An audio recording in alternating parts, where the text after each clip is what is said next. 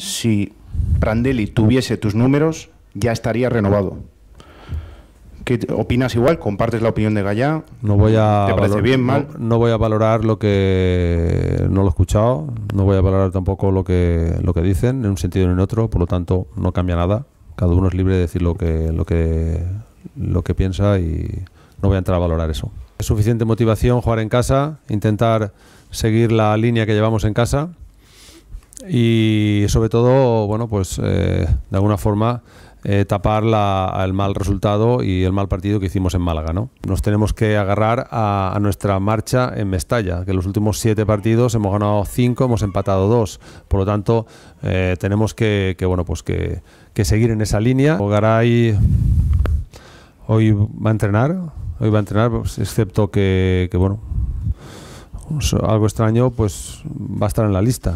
Eh, tenemos un entrenamiento ahora, pero bueno, en principio creemos que, que no va a haber problema y va a estar, ¿no?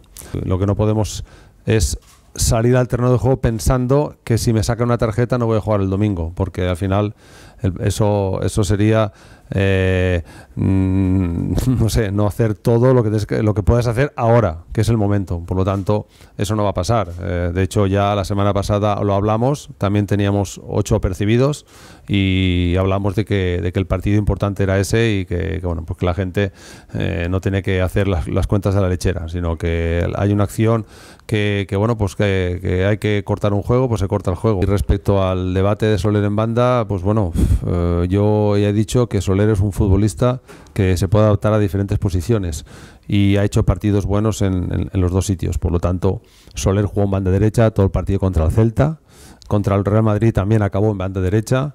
En Granada, los últimos minutos, o últimos, no sé, no recuerdo, jugó en banda izquierda. Yo creo que el futbolista, eh, Soler es un futbolista que puede jugar en diferentes sitios. Y también valoramos mucho mm, también su, su trabajo defensivo. Por lo tanto, eh, bueno, yo creo que mucha gente se deja llevar cuando recibe la pelota y qué hace con el balón, pero nosotros también miramos su trabajo defensivo, que a veces en algunas zonas del campo es importante ese trabajo en función del rival que esté por ahí o en función de lo que el equipo necesite en ese momento. Por lo tanto, eh, no hay para un para un entrenador es una es una una buena una buena solución tener futbolistas que pueden jugar en diferentes soluciones. Por lo tanto para mí eh, Soler puede jugar en diferentes posiciones y, no hay debate de, que si rinde más en una que en otra. Eh, bueno ha hecho ya te digo el día del Celta jugó todo el partido ahí y, y lo hizo muy bien. Por lo tanto lo utilizaremos donde mejor creamos conveniente en cada momento